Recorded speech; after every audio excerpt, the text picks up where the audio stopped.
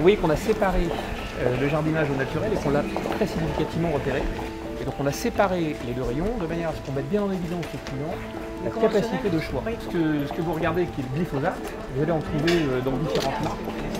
Vous avez et donc on a euh, mis en place euh, le guide pour jardiner des natures qui, euh, devant le rayon des glyphosates, eh bien, permet de renvoyer le client vers le jardin naturel. Et on a un vendeur qualifié euh, qui amène le client dans euh, une meilleure connaissance des produits, notamment pour un, jardinage plus écologique, plus éco-responsable. Et puis nous avons euh, une troisième phase de déploiement euh, qui couvrira l'année prochaine la mise en place d'une pharmacie avec un comptoir et les produits qui seront vendus en conseil derrière ce comptoir. Voilà Très bien.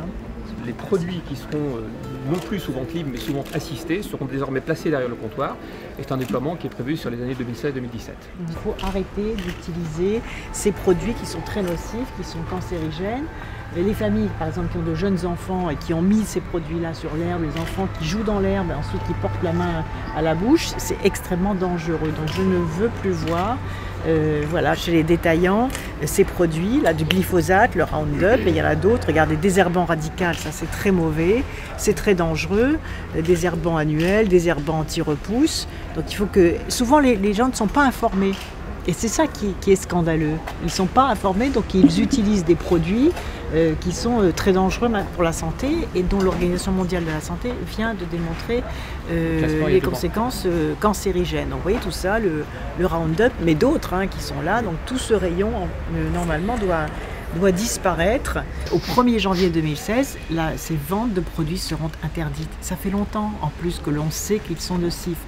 Donc à un moment, j'entends dire, mais non, il faudrait des délais, il faudrait deux ans, il faudrait trois ans. Je pense qu'à un moment, il faut prendre les décisions, fixer les règles, et vous allez voir que euh, les distributeurs vont se plier à ces règles.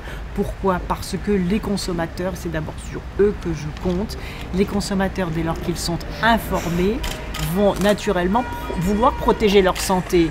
Et c'est souvent ce qui est choquant, c'est que le consommateur n'est pas informé. Donc c'est en toute bonne foi qu'il va acheter des produits qui sont mauvais pour sa santé et, dangereux pour la- sa sa santé et la santé de ses enfants. Donc on sait maintenant que ces produits sont nocifs, qu'ils sont cancérigènes et qu'en plus qu'ils sont mauvais pour euh, la nature. Donc euh, ils ont tout faux. Donc il faut les enlever. À un moment, il faut savoir décider de ne plus subir la pression euh, de grosses entreprises qui effectivement gagnent beaucoup d'argent en vendant ces produits. Je signale que ce sont 2000 tonnes, vous vous rendez compte, 2000 tonnes de glyphosate achetées par les particuliers pour mettre dans les jardins. Donc c'est considérable. Il faut que ça, il faut que ça cesse. On va prendre d'autres. hein. Donc ça c'est le désherbant radical, ça c'est très mauvais. C'est très mauvais. Désherbant plusieurs marques.